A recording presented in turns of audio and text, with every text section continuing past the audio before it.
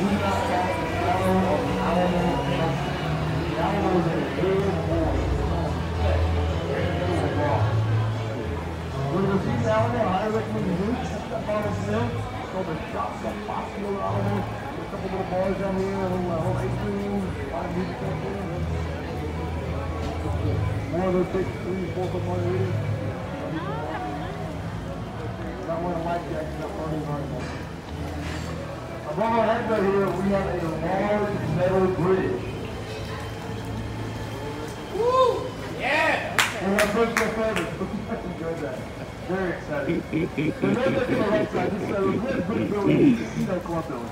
Now, it opened up back in 1927, the same year that alcohol became illegal because of prohibition.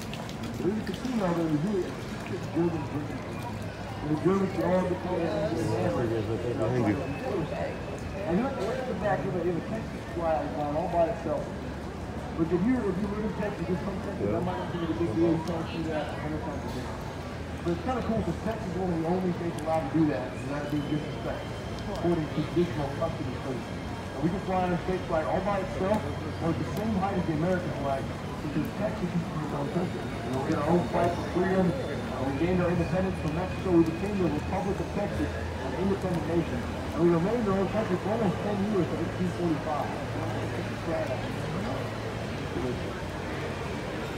and all around here, guys, this is the heart of the River Rock Casino, River Square. Renovated in 1972, one of our most popular areas today.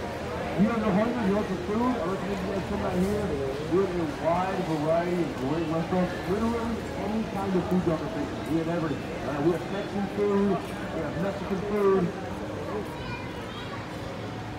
You only need we have Tex-Mex, and we have a lot of diversity out here, you know.